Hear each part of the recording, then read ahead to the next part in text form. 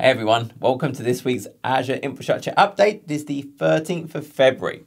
And actually only a few updates this week, but some of them are really cool. As always, this is useful. Please go ahead and like, subscribe, comment and share and hit that bell icon to get notified of new updates. As always, I've got the chapters down the bottom so you can jump to specific updates if there's a particular one you are interested in. New videos this week. So one big AZ500 study cram, three hours. I just focused on all the key theory around that AZ500 exam. And of course, we did have our 100,000 subscriber Ask Me Anything session. You can go back and watch if you want. So on to the new features. AKS cluster persistent volume backup. Remember with Kubernetes, I can have pods get access to durable storage. I have a persistent volume claim that maps to a persistent volume that's enabled by some provider. Um, Azure Managed Disks, Azure Files, Azure NetApp Files. So what I can now do is through Azure Backup, is I can actually back up and restore those persistent volumes. Now I can not only recover them, I could actually now use that to clone or replicate to other clusters. So I can restore to the cluster it's backed up from or to a different cluster. Azure Site Recovery now has 15 day recovery points. This has gone from what was 72 hour limit to 15 days. Now, if I think about a normal operational recovery, the 72 hours is probably all I would ever need. I just need to go back maybe a, a few hours, uh, a day. But that longer period might be more useful in maybe a ransomware type attack, where maybe I don't notice there's been a compromise for a few days. So I need to go back further than that. So now I can configure this up to 15 days. Now, the actual retention will vary. I think for the first two hours, you have these five minute increments of recovery points. Then if it's one day, I get one per hour. If it's two to seven days, it's one every two hours. And in past seven days, so eight to 15 days, it's one every four hours is retained. So it, it does change. They get less frequent retention as I move out and out through the history. But now I can go and configure what is that retention period I actually want. Azure Bastion now has file transfer as well in preview. Remember, Azure Bastion, there's different SKUs. This is talking about the standard SKU, not the basic SKU. And we have the ability to use the native client now. So I don't only go through the portal, I can, through the Azure CLI, initiate a connection that will fire off the native client.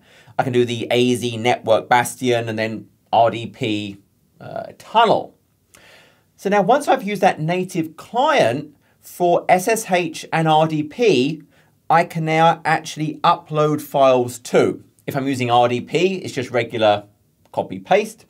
If I'm using SSH, I establish the tunnel, and then I use the SCP command to actually upload content. And if I'm using RDP, I can also download content from that target virtual machine. Again, just using that regular copy paste.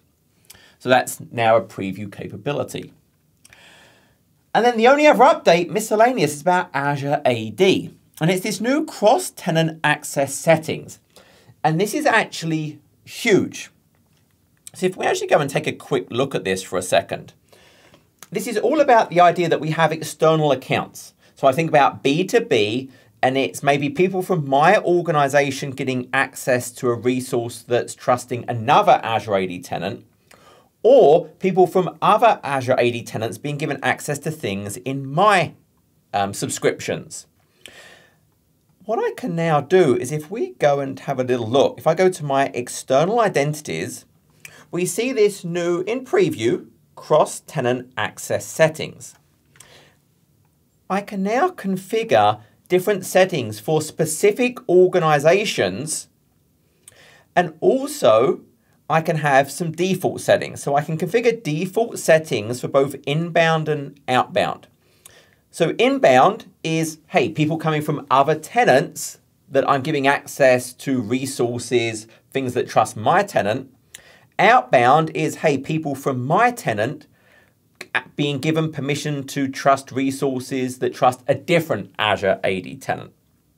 So I can do that just in general default, or again, I can have specific settings for a specific tenant. So here, for example, I've got different settings for a tenant onboardtoazure.com that's different from the regular default settings. And what I can do for these, if we go and have a look, for the B2B collaboration, I've left the default. Hey, I can allow access for external, I can allow access to all applications, but I could tweak that if I wanted to. I could customize those settings, but it's this trust setting. This is really powerful. So what I could now do is any combination, if someone has performed MFA in their home tenant, I can now trust that. Whereas today I can't. Without this, I would have to make them re-register for MFA in my tenant and re-go through an MFA, a strong authentication. I don't trust their statement that, hey, I've already done a strong authentication. Well, I can now say, hey, I'm going to trust that. I could trust compliant devices. I could trust a hybrid Azure AD join status. So in my conditional access policies in my organization, rather than now forcing something to happen again, I can use those claims from their home tenant as part of my conditions. So now, again, I can do that on a per tenant. So I might have different settings for a particular organization I work with a lot. I have confidence in them. I'm good with trusting their MFA and their hybrid status, etc.